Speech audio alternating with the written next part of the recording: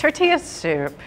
I was actually really excited to make this recipe because, well, it is so 90s, right? Tortilla soup was all about the 90s now that I think about it. If I close my eyes and picture like the harbor in Puerto Vallarta and cold beers, like right, at, right, right there. I've had a lot of tortilla soups where there's a lot of tomato. This is really about the, the chicken, the chicken broth, and getting a lot of good flavor there. That bone is going to help to flavor the broth. And there's going to be a great amount of meat left over so that we can shred. And plus also the texture, uh, the, the crispy tortillas in the bottom. Those little strips, they remind me of Fritos. I sprinkled them with a little bit of salt and you can see they're crispy, they're not greasy. I was surprised from the baking one, and I liked the baked ones too. But the oven ones, they sat in there in the soup and then they started to sort of absorb the soup and thicken it, which is exactly what you wanted. And we found that by using the chipotle chili and some of the adobo sauce, that it was just the right amount of heat, just around of smoke, and didn't have to work too hard. There's this mixture, this sofrito mixture, the onions and some chipotle Garlic and and jalapeno, tomatoes. bit, and you cook it for a really long time.